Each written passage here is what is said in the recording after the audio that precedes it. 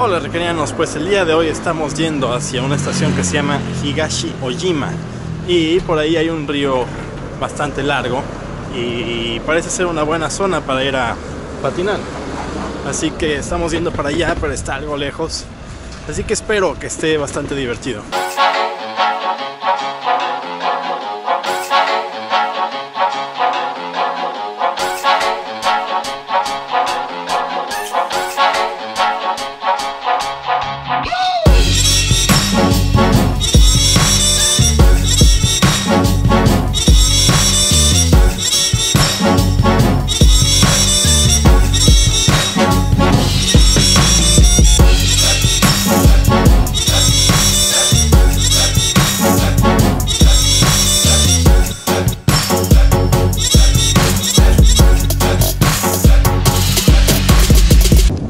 Por fin llegamos a Higashi Ojima y uh, no estaba tan lejos como pensé, era media hora, no una hora. Y pensé que iba a haber restaurancitos o cosas por el estilo aquí saliendo de la estación, pero no hay nada. Mi idea era llegar, comer algo e irme a patinar, pero no hay dónde comer, así que me compraré algo aquí en el 7-Eleven. Listo, ya está la comida comprada y vámonos para el río. La cuestión es que hay dos ríos aquí, hay uno de ese lado y otro para allá. Vamos al que está de ese lado, que es el grandote según entendí en el mapa.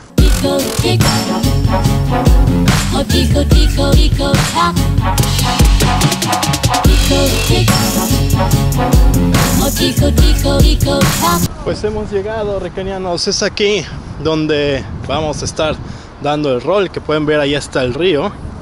Aquí hay una pistita y ahí abajo hay otra pistita. Entonces, veía de otro youtuber que no me acuerdo ahorita su nombre, creo que es Paolo from Tokyo, algo así eh, que aquí está padre para patinar, por eso es que vine a esta zona. Pero antes vamos a comer. La comida de hoy nos costó nada más y nada menos que 549 yenes, que son como 5 dólares, y es esto.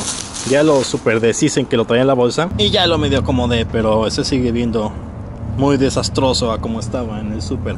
Y bueno, eso muchas cosas empanizadas, esto es pescado, pescado, esto también es pescado y esto de acá es pollito. Y ahorita estoy señalando con los palillos, pero eso no se debe de hacer, es de mala educación. Muy mal, Riken. Esto de acá, esto de acá es nori, es eh, alga, y esto es arroz. Y más. creo que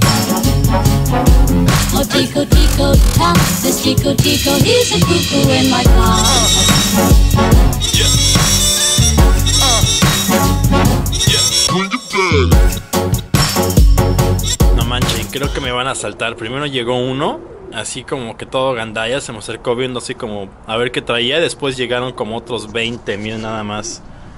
Creo que me van a saltar estos. Así llegó toda la banda de momento. Estoy nervioso.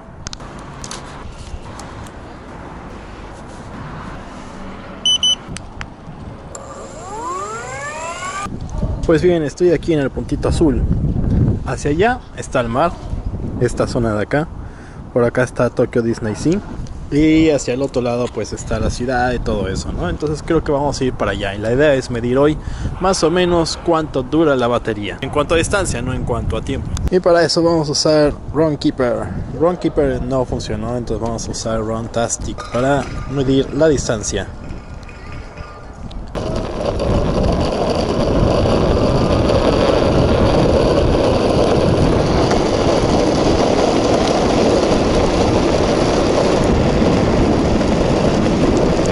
Está padre, ¿eh? Bueno, hay un buen de viento, pero está padre porque no tienes que estarte preocupando de semáforos o cosas por el estilo, de carros, que bueno, viene uno atrás de mí justamente cuando estoy diciendo eso, pero viene súper lento y es como de los que dan servicio por acá o cosas por el estilo. Órale, un aeropuerto acá.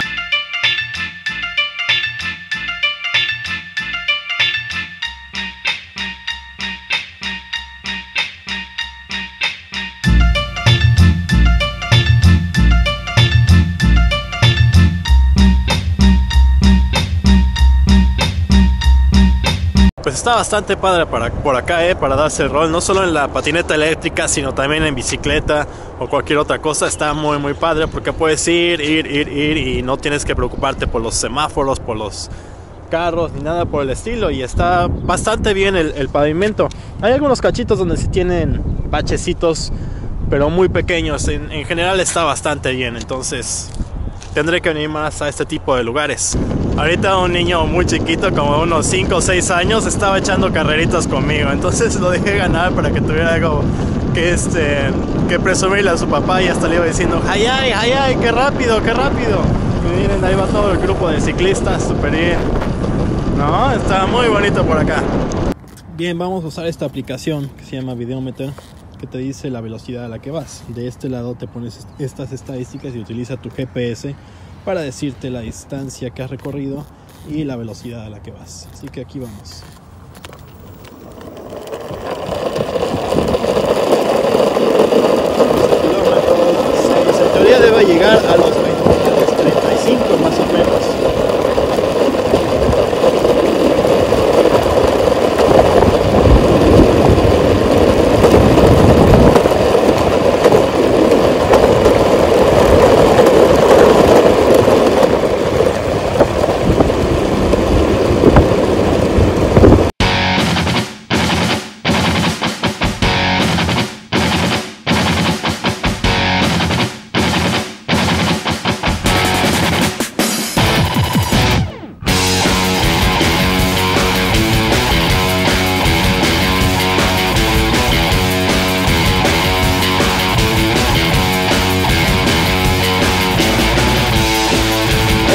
Parece que llegamos al final de la pista.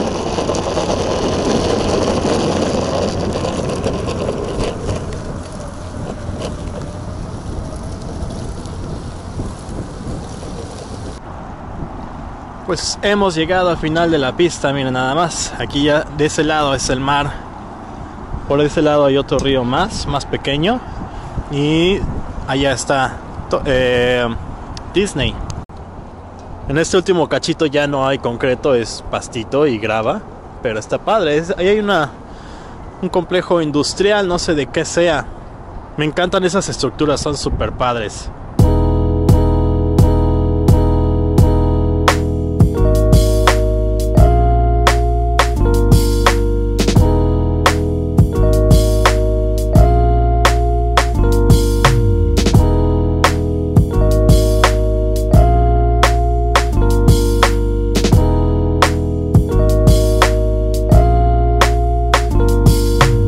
Pues súper bien este lugar para andar dando el rol en la, patineta, ¿eh? De verdad que está súper bien. Y no sé por qué lo cambié ahorita al modo de económico. Vámonos al bueno, ahora sí, acelerar bien. La verdad es que este juguetito me ha encantado, ¿eh? está súper padre para moverse en Tokio, para pasear, para todo está muy, muy, muy bien. La verdad es que ahora van a empezar a salir muchos vehículos de muchos tipos eléctricos. Ya he visto patines eléctricos, patinetas eléctricas, autos eléctricos, bicicletas eléctricas, muchas cosas. Y por ahí va la onda, porque los combustibles ya no tiene razón de ser. Entonces está excelente que ya la gente se esté interesando más en crear tecnología basada en la electricidad. Cuando esto debía haber sucedido hace muchísimo tiempo, no sé por qué hasta ahora. Creo que una de las principales eh, cuestiones por las que no lo habían hecho es por las baterías, porque no podían haber, no podían crear baterías que duraran tanto como duran ahora. Por ejemplo, esta es una batería muy pequeña y me da para unos 10 kilómetros con esta patineta, entonces está súper, súper bien. Y sí, eso indica que estoy muy emocionado con este juguetito, así que vamos a seguir dándole aquí desde Tokio, Japón.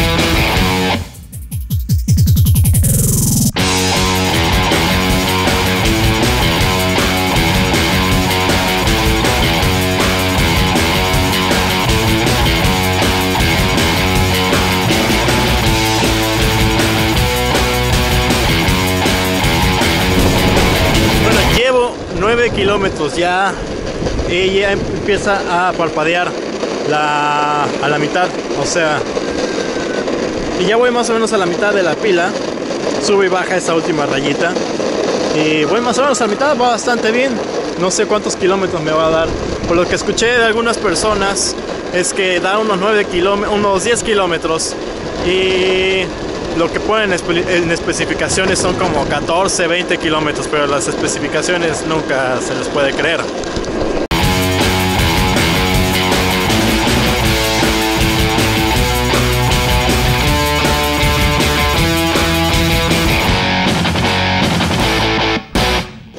Ya me queda una rayita de batería, en cualquier momento me quedo varado. Y hasta ahora llevamos 12 kilómetros. Bastante bien, ¿no? Se acabó. Y justo me dejó en las escaleritas. Vamos a ver cuánto fue lo que hicimos. Hicimos 12 kilómetros punto 76. Bastante bien para una sola carga. Ojalá que tuviera eh, batería intercambiable, pero mm, por el momento no lo tiene. Pero sí, muy a gusto. Ahora a encontrar el metro, que no tengo la más mínima idea de dónde haya un metro por acá. Bueno, aquí está. 16 minutos caminando el eh, metro más cercano, que es este de Yajiro. Pues listo, ya estoy a una cuadra más o menos de, del metro, de la estación de Yajiro. Y quise pararme un momentito para ver aquí que está bastante padre, ¿eh? Está como muy tranquilo, muy diferente a lo que vivo todos los días, que vivo en una zona súper céntrica de Tokio, donde está todo súper cerca, pero está todo súper caótico porque hay mucha gente, mucho ruido y de todo. Entonces, estar en un lugarcito así es bastante bueno, relaja.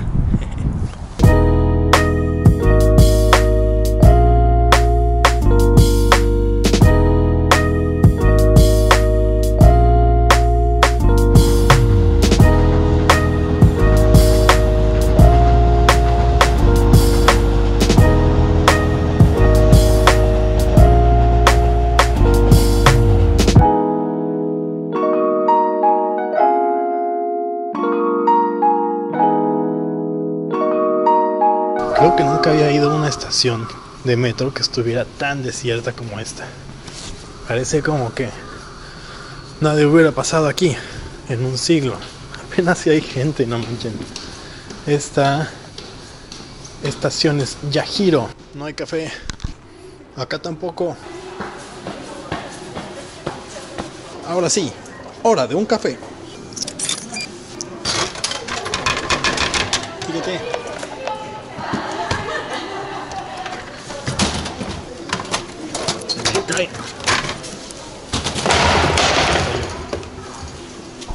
Ahora sí.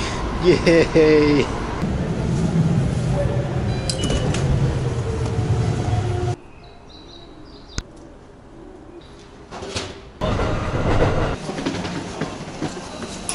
Estuvo chistoso porque ahorita venía en el vagón del metro y dije, esa chica la conozco, la conozco. Y sí, era una amiga de, de Perú y tenía un ratote que no la veía, entonces fue raro encontrármela.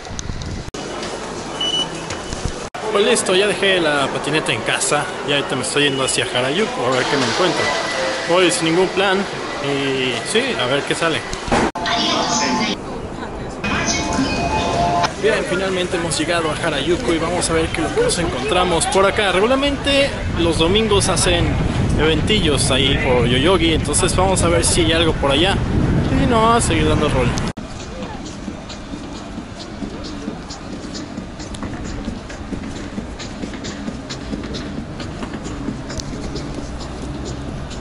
Bueno, ahorita me encontré con esto que está aquí, que es una cabina de DJ en medio de la calle, porque, ¿por qué no?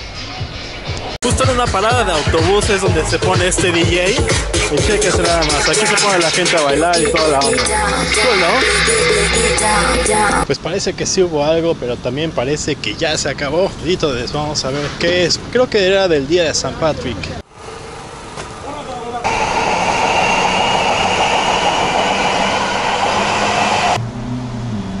Bueno, pues resulta que allá ya estaban cerrando todo. Entonces, eh, sí, me lo perdí. Al parecer había un evento de St. Patrick's, de San Patricio. Y también había un evento de Tailandia. Parece que los dos estaban ahí como juntos. Pero ya habían terminado los dos.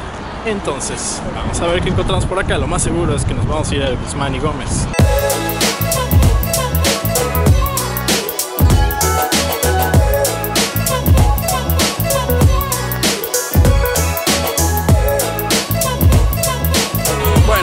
Que la idea de los tacos queda descartada y vamos a ir ahora por un kebab, eso se me antojó y hay unos por acá que están más o menos bien. Eh, bueno, están bien, porque lo unos medio desabridos, entonces estos de acá sí tienen buen saborcito. Y la cuestión es que antes tenían asientos, no sé si todavía tengan, si tienen asientos eh, ahí será, si ya solo es el puestecito que da a la calle, ahí sí paso. Es acá y acá ya está el super kebab. Y pueden tener aquí hay asientos y también tienen asientos adentro. Vamos a ver si hay. Está muy lleno. Chequense esas motos, ¿eh? están súper raras, ¿no?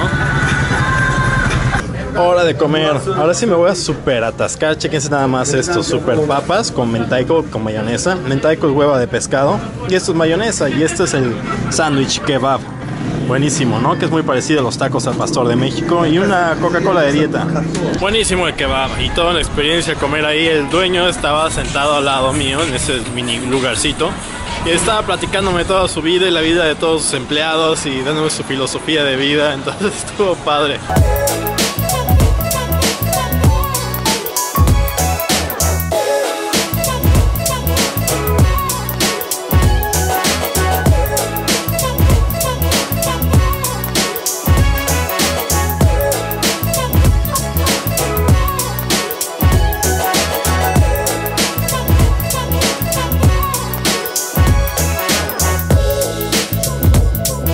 Spinners. Vamos a llevarnos este para amarrar cables, así.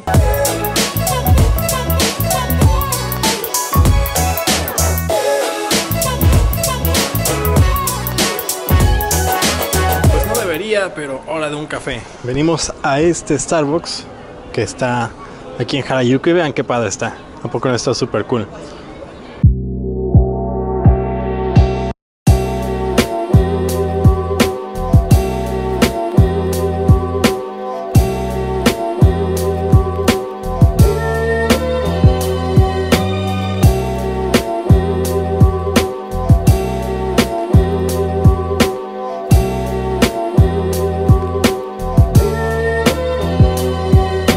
Listo, ya tenemos aquí nuestro super chai. Es enorme y está súper bien aquí, ¿eh? me encanta este Starbucks. La cuestión es que ya no hace tanto frío, entonces uno puede estar aquí al aire libre, una chamarrita y con eso ya queda uno bastante a gusto.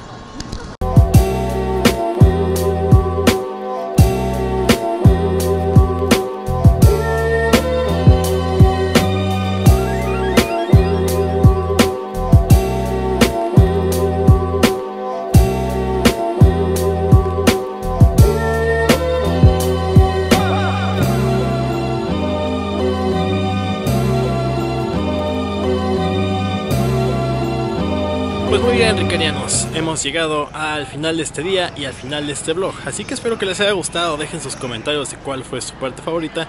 Suscríbanse los que aún no lo hayan hecho. Y ya, adiós.